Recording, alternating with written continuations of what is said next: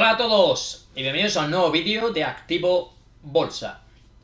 Hoy es 25 de mayo del 2022 y vamos a ver la petición de dos suscriptores. Una es Equinor, que nos pedía Jordi, y otra es Laboratorios Robi, que nos pedía Diego Sánchez. Vamos a empezar con Equinor. Esto es una empresa noruega dedicada al sector del petróleo. Y como podéis ver, este es un gráfico que está desplegado desde 2005 en velas diarias. Como podéis ver, está en máximos históricos. Vamos a hacer zoom en este gráfico. Podéis ver como desde la crisis sanitaria del 2020 y tras superar la media móvil 200 ha subido con fuerza. Hoy queríamos comentaros que aunque no nos sale la vela de hoy 25 de mayo, por un problema de Visual Chart, podemos decir que hoy precisamente ha acabado en zona de 353 euros.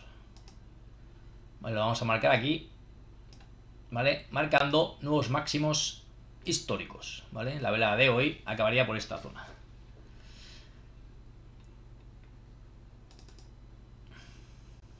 Como decíamos, había marcado un nuevo máximo histórico y aquí lo que se puede marcar en el corto plazo sería aquí una zona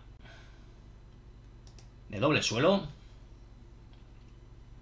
que tras superar este máximo de aquí podríamos marcarle un objetivo alcista. Esto sería medir esta zona y proyectarla. Una vez hecho esto, podemos decir que nos sale un objetivo alcista a la zona de 381 euros. Es una acción muy fuerte, que ha subido con bastante fuerza y que quizás ahora lo único que veamos sería este objetivo alcista por este doble suelo. Pero siempre con precaución, ya que lleva mucha subida desde el año 2020 y prácticamente no ha tenido correcciones grandes. Es un sector, el sector de las petroleras, que está bastante fuerte en general, al igual que el de la energía. Así que es un valor a tener en cuenta. En caso de que alguien esté dentro de este valor o tenga intención de entrar, nosotros le pondríamos un stop por debajo de la zona de los 306 euros. Ya que sería perder esta zona que teníamos marcada como de doble suelo. Y esta sería su primera soporte a corto plazo. En el caso de perder estos 306 euros, su siguiente soporte lo tendríamos en la zona de 2,80, donde está la media móvil 200 y este otro mínimo en esta acción. Ya decimos que es una acción bastante fuerte, está en máximos históricos, Está toda la bolsa en general bastante mal, pero si rebuscáis podéis ver que hay acciones que os están haciendo realmente bien. Ahora vamos a pasar a ver Lavatorio Robi. Y aquí en el Lavatorio Robi también podríamos comentar lo mismo. Es una acción muy fuerte, que ha subido con mucha fuerza. Prácticamente estar por debajo de los 5 euros a llegar a la zona de 75 euros. O sea, una tremenda barbaridad.